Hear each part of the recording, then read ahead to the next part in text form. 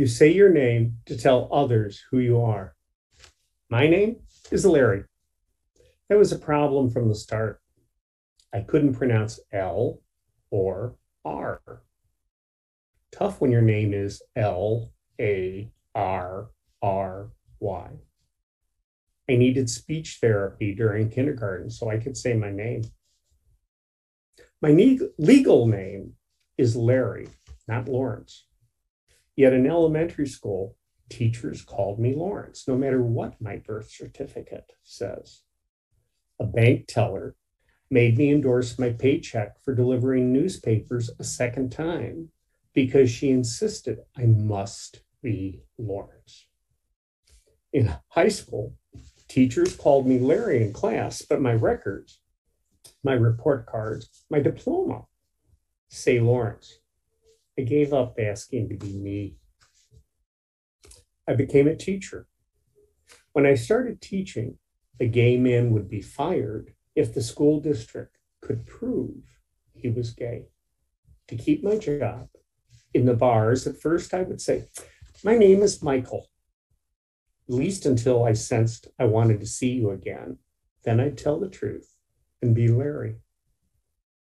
The men I met in the bars, they understood. They also used fake names to keep a job or so family wouldn't find out. I belong to the Chicago Prime Timers, a club with 212 gay senior men. We have 15 social events a month a monthly buffet dinner at Ann Sather's restaurant, bowling, and small groups which meet in members' apartments to play cards, double train dominoes, or to talk about a book. We have a membership directory so members can stay in touch with each other despite ever changing email addresses or changing cell phone numbers, or when a member moves to a new apartment. We email an updated directory to members every six months. We board members. We know that perhaps 30% of the club's members choose to not be listed in the directory. Some have no listing in the directory at all. Some are listed only by their initials. Some list the fake name they used in the bars when they were younger. Some of our members were previously married and have children, where once they feared being denied visitation to their children if the ex wife could prove that they were gay. Today, as senior citizens, they fear that if their adult children do a computer search for dad's name and see him listed in a gay club's directory or in the newsletter as hosting a poker game in his apartment, the relationship will change. They fear not seeing their grandchildren.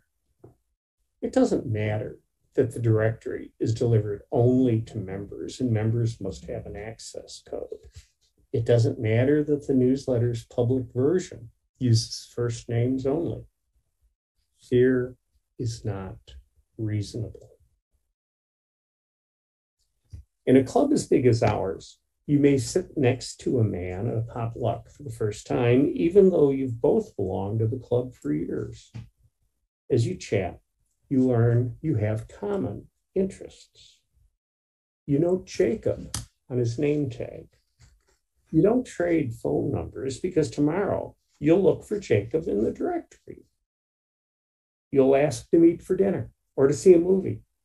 You'll phone because you need some new friends. You feel isolated.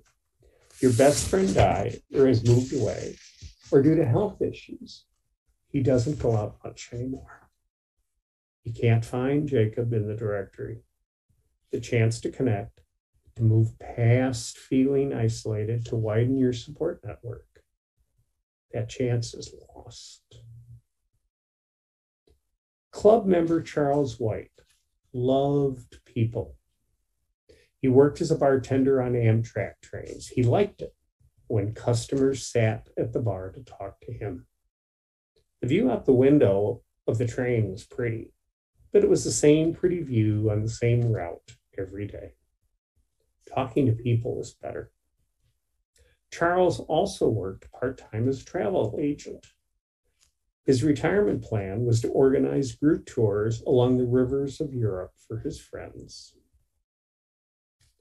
One week, one week after Charles retired from Amtrak, he suffered a major stroke and entered a hospital in Northwest Indiana. Wanted to visit. Given that this meant driving more than an hour into Indiana, and since I was not sure whether the intensive care unit allowed visitors, I phoned first. The hospital receptionist told me, We don't have a patient named Charles White. It was four days before the only member of the club who knew his real name heard that I was looking to visit Charles.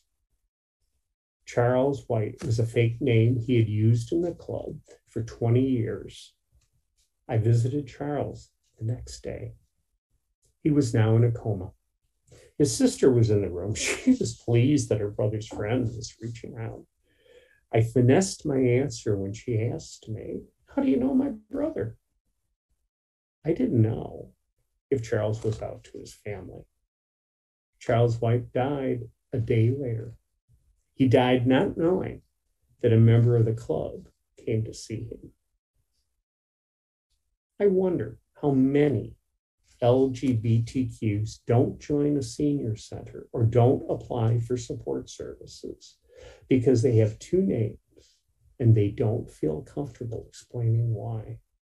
They might fear meeting someone who knows them by the other name.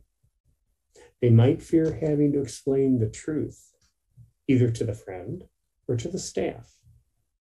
Keeping the secret is their number one priority. Names have power. They say who you are. Trading names brings others closer. When your real name is hidden, names keep others at distance, leaving you isolated. Keeping your secret carries a heavy price. So, who are you? Let's trade names.